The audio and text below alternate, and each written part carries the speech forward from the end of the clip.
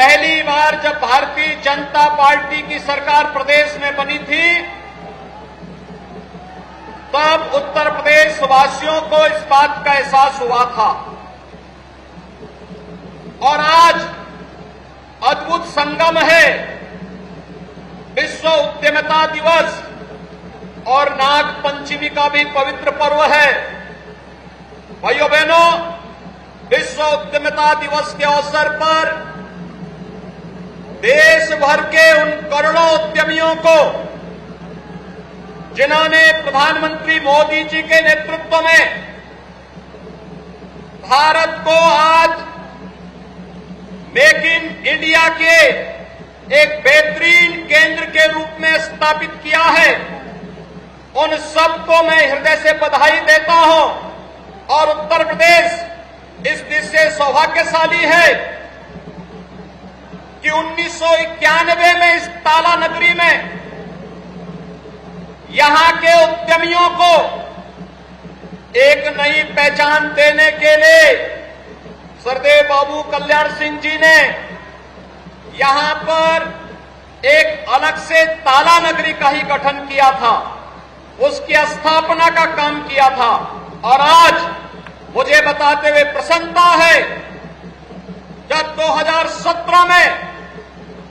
आदरणीय प्रधानमंत्री मोदी जी के नेतृत्व में, उनके मार्गदर्शन में, और उस समय जब देश के भारतीय जनता पार्टी के अध्यक्ष के रूप में आज के देश के यशस्वी गृह और सहकारिता मंत्री भारतीय जनता पार्टी को नेतृत्व दे रहे थे, उनके रणनीति और मार्गदर्शन में उत्तर प्रदेश में भारतीय जनता पार्टी की सरकार का गठन होता है। गठन के समय परंपरागत उद्यम को बढ़ावा देने के लिए प्रदेश के एमएसएमई सेक्टर को नई पहचान देने के लिए वन डिस्ट्रिक्ट, वन प्रोडक्ट का जो कार्य हुआ था, आज अलीगढ़ की इस पहचान को भी वैश्विक मान्यता प्राप्त हो रही है। भाइयों बहनों सरदेव बाबूजी सदैव कहा करते थे, जब उन्हें पंडित दीनदयाल उपाध्याय जी के एकांत एकात्म मानव दर्शन पर विचार व्यक्त करने का जब भी अवसर मिला तो उन्होंने एक बात बात स्पष्टता से कही कि पेट को आहार, मन को प्यार, मस्तिष्क को विचार और आत्मा को संस्कार, इन चारों का जो समुच्चय है, वही एकात्म मानववाद है। और इसके अनुसार उन्होंने अपना जीवन जीने का कार्य किया था। यही संस्कार था जिन संस्कारों ने अपने लिए राजगद्दी प्राप्त करने से महत्वपूर्ण प्रभु श्री राम के चरणों में राजगद्दी को समर्पित करने के लिए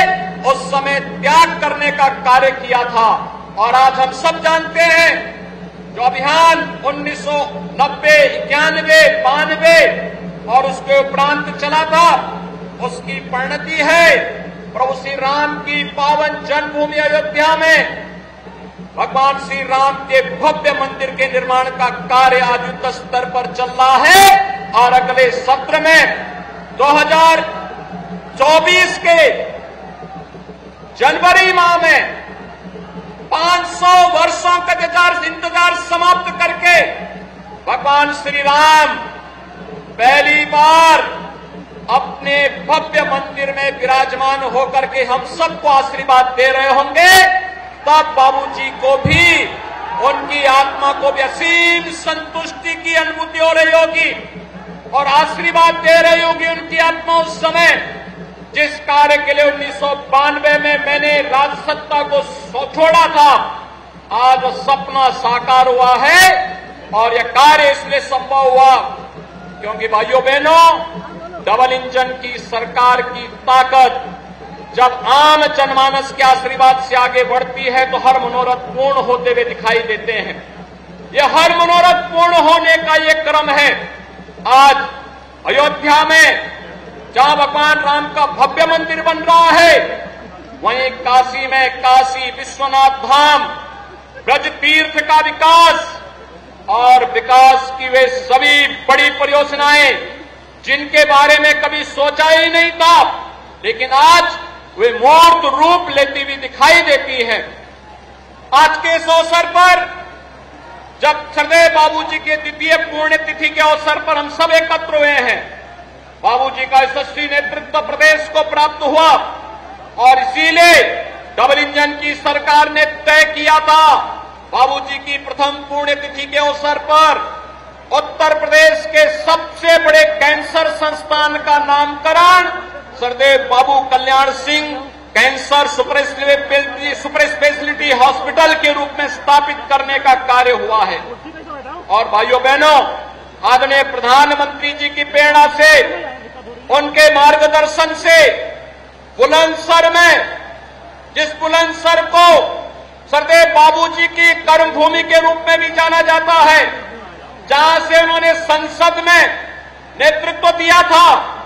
उस बुलंदसर में बनने वाला मेडिकल कॉलेज भी सरदेव बाबूजी के ही नाम पर। बाबू कल्याण सिंह राजकीय मेडिकल कॉलेज की स्थापना का कार्य भी उच्च स्तर पर चल रहा है। अगले सत्र में इस मेडिकल कॉलेज में प्रवेश की प्रक्रिया भी संपन्न होकर के बुलंदसर और आसपास के नौजवानों को इसमें प्रवेश की सुविधा प्राप्त होगी। आज के इस अवसर पर एक बार फिर से सरदेव बाबू जी की स्मृतियों को नमन करते हुए मैं उन्हें विनम्र श्रद्धांजलि अर्पित करता हूँ। अपने केंद्रीय नेताओं का, केंद्रीय